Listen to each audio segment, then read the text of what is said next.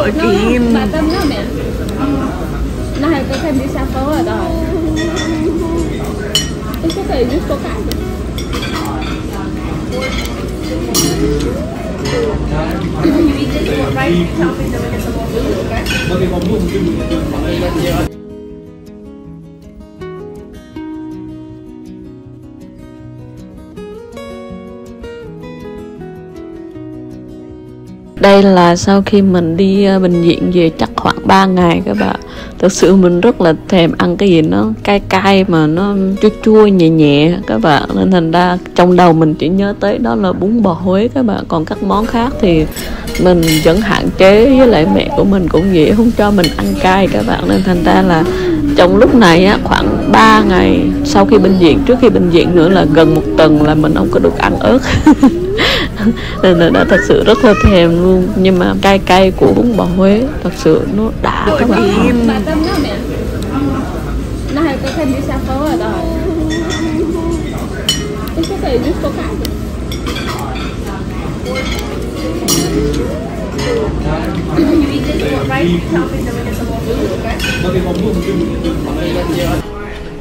Đây các bạn mời các bạn ăn bún bò Huế. Hết sức chịu đựng thèm ăn bún bò Huế.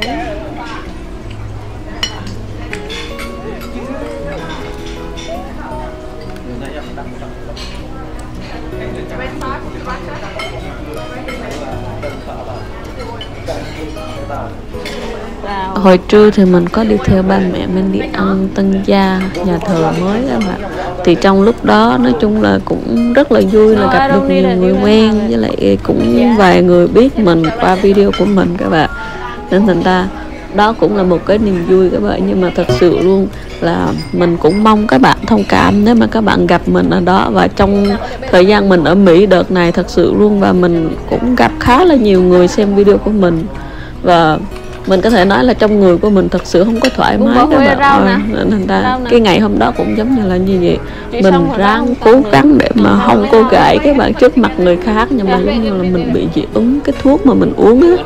Nên thành ra là nó bị nổi hết người luôn bị gãi hết nguyên người luôn các bạn. Mới vừa đi nhà thờ tập hát xong giờ ăn xong rồi không biết đi đâu. Mệt quá. Tôi mệt. Ủa cái này là cho cơm mấy kia kia mua. Kia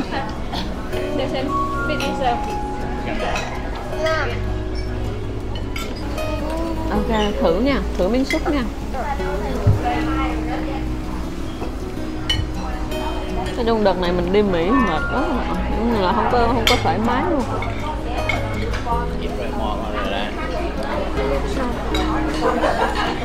Ừ ngon.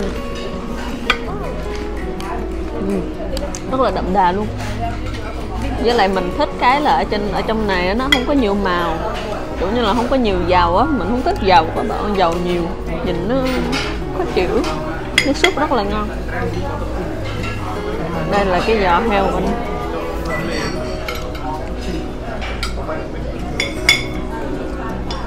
Giò heo hơi dai. Ừ. hơi dai Cái này là phải hầm thêm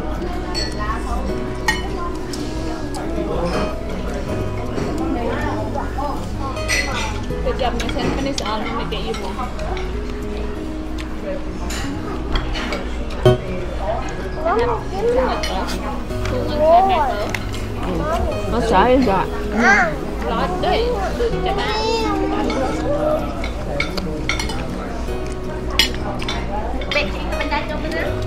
Yeah. ừ hử. More?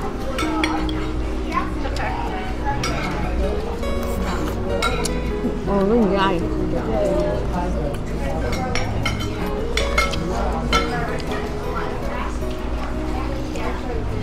Nước súp thì ngon rồi đó Bún có vẻ ngon nè.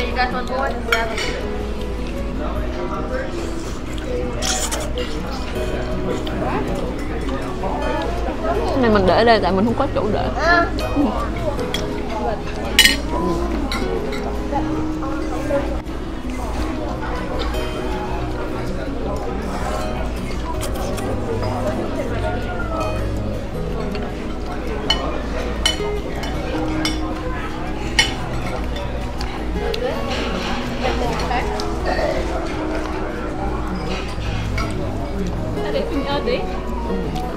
được rồi cũng theo theo rồi. Ồ bà cần bà không chứ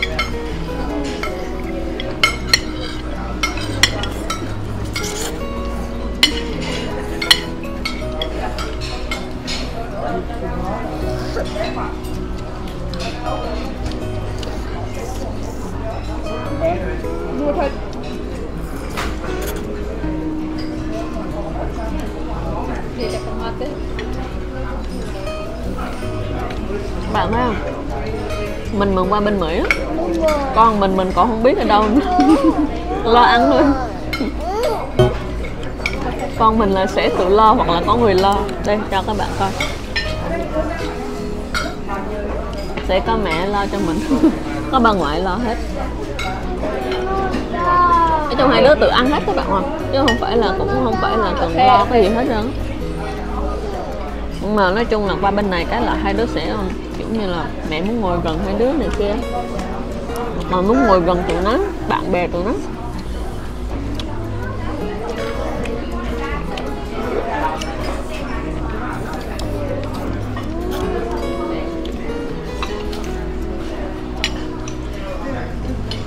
Bún ngon mà lý do hồi nãy mình nói ăn xong không biết đi đâu á là bị mình bị bị nước nguyên người luôn anh gái thì khuyên mình đi ờ, như là đi ờ, vô ờ, xin thuốc nhưng mà phải vô bệnh viện á. Tại hồi trước em gái có đi một lần rồi và họ cho thuốc uống xong rồi nó hết luôn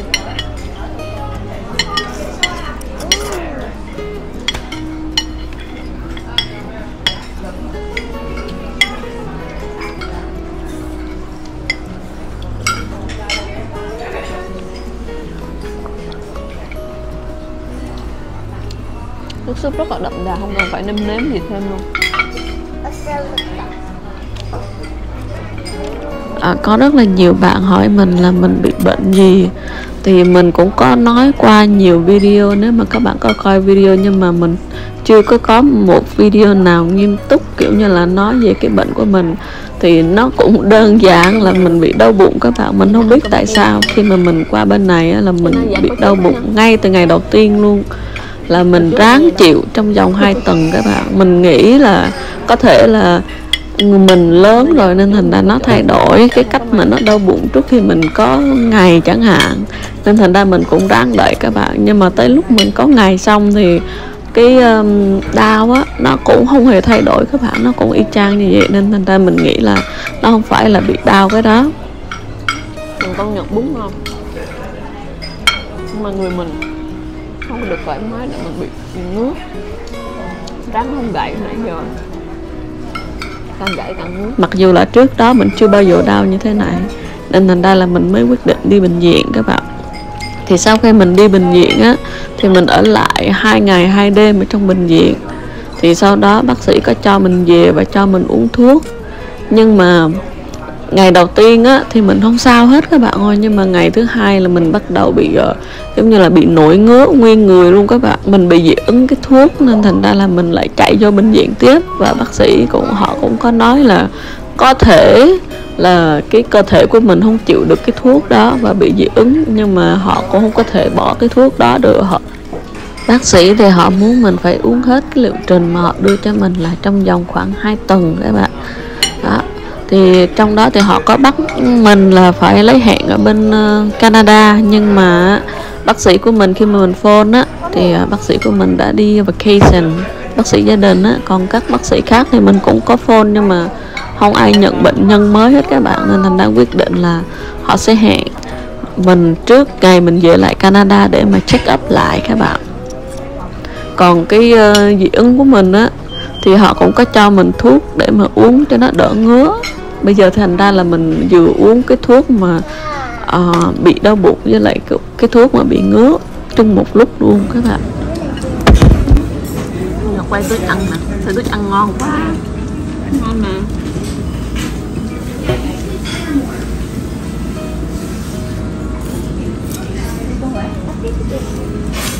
Thank you.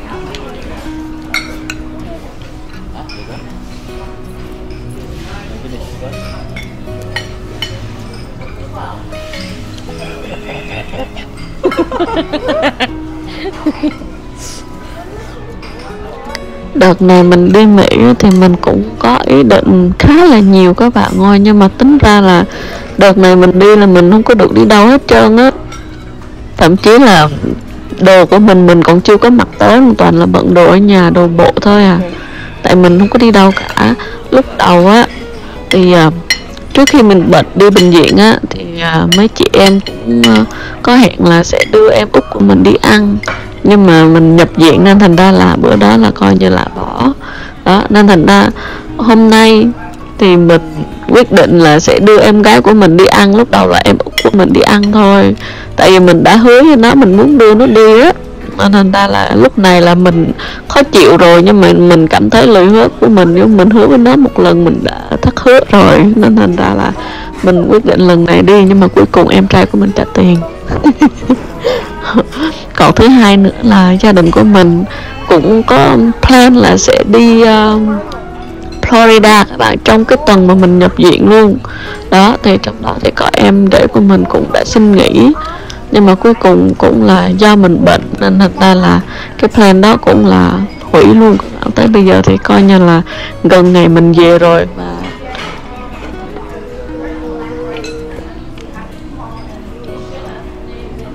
Just let you know. Okay. Thank you for letting me know. You're welcome. Cho nào thử miếng súp không con? Thử miếng súp không? Nấu. Thử miếng súp ha. Thử miếng không? Miếng không? nấu.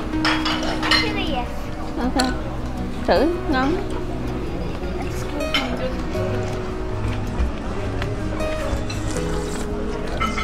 A little bit spicy. Ngon ấy.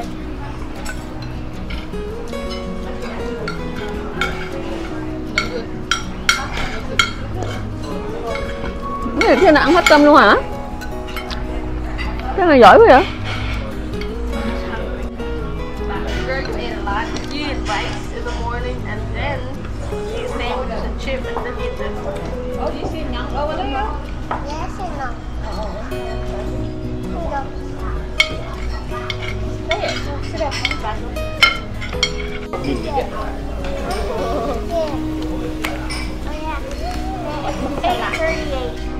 Greg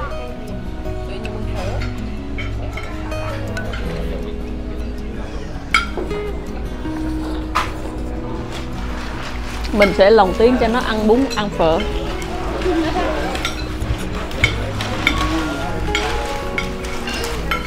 Chấm chấm chấm.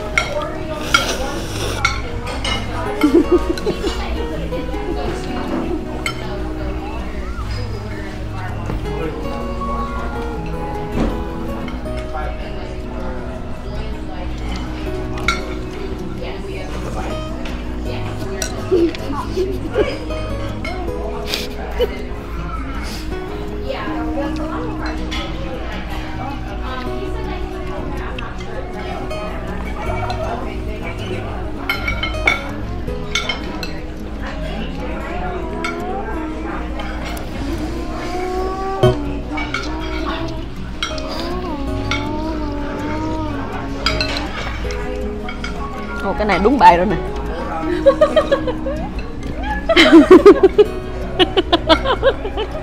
Anh mua anh mua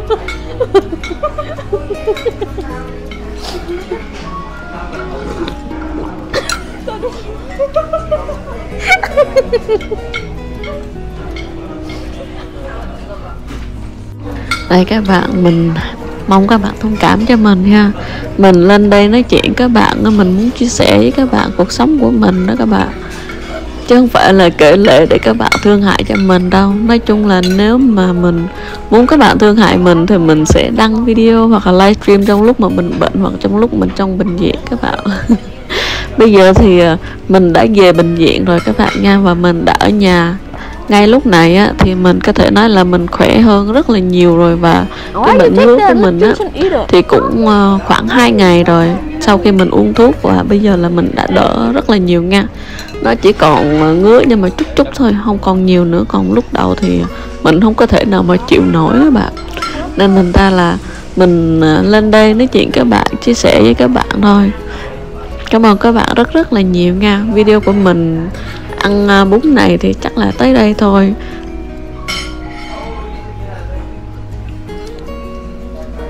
Đợi các bạn, tô phở của mình đây. Nguyên miếng. Ô, tô bún của mình quên. Quá trời thịt. Mình, thịt này nó ngắn các bạn. Kiểu như nó khô á, với lại thật sự nha, mình công nhận là cái ờ, nước bún đậm đà. Ngon.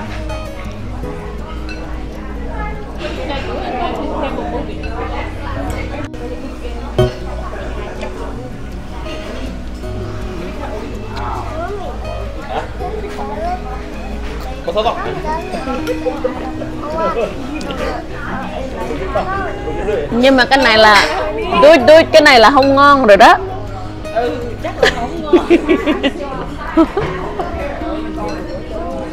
Cảm ơn các bạn rất rất là nhiều đã xem hết video của Mary. Hẹn gặp các bạn trong video tới nhé Bye bye. Mình sẽ còn nhiều chuyện kể cho các bạn nghe nữa Nên là các bạn đợi video tới Mình sẽ kể cho các bạn nghe cái vụ bảo hiểm nha